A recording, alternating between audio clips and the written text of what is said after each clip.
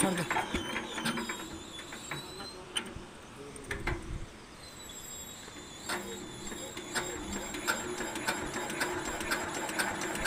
ਛੱਡ ਦੇ ਉੱਪਰੋਂ ਲੇਬਰ ਲੇਬਰ ਛੱਡ ਉੱਪਰੋਂ ਉੱਪਰੋਂ ਛੱਡ ਲੇਬਰ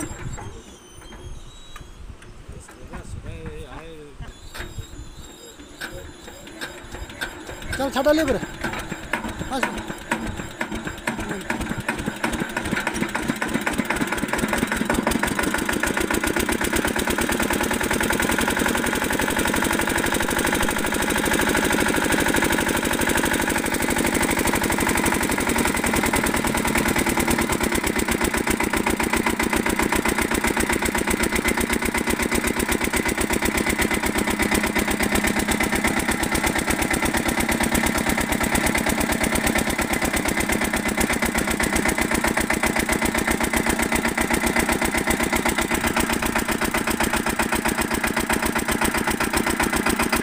नमस्कार दोस्त, नमस्कार दोस्तों, मैं बुद्धि विलास रैकवार। दोस्तों, जैसा कि आप ये इंजन देख रहे हैं, जैसे ही स्टार्ट करते हैं तो स्टार्ट करने के बाद क्या होता है ना, जैसे खूंटी कंप्रेसर गिराते हैं तो इंजन जो है जाम हो जाता है।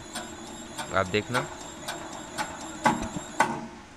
ये ये जो जाम हो रहा है तो उसका रीज़न क्या है? और आपने पहले देखा कि इंजन जो है स्टार्ट तो हो रहा था पर जैसे ही स्टार्ट हो रहा था अपने स्टार्ट होने के बाद लगभग एक मिनट में अपने आप ये जो है बंद हो जा रहा मतलब बंद हो जाता था। तो ये क्यों होता है और आपको इसको कैसे रिपेयर करना है? तो दोस्तों ऐसा तब होता है कि अगर इंजन धुआँ दे के बंद हो रहा है तो इसका मतलब होता है कि ब्रासें जो है वो ख़राब हो चुकी हैं। तो इस इंजन में क्या हुआ था कि मोबाइल थोड़ा सा कम हो गया था और मोबाइल जब कम हो जाता है तो सी में जो है आपकी जो ब्रासें हैं उसमें मोबाइल नहीं जाता। और मोबाइल नहीं जाता तो देख सकते हैं आप, ये जो ब्रास है वो जल भी चुकी है। तो ये ब्रास जो है, ये बिल्कुल चिपक जाती है।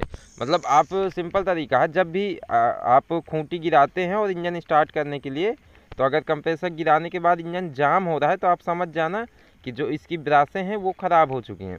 ब्रासें या तो घूम जाती हैं, या तो ब्रासें चिपक जाती हैं।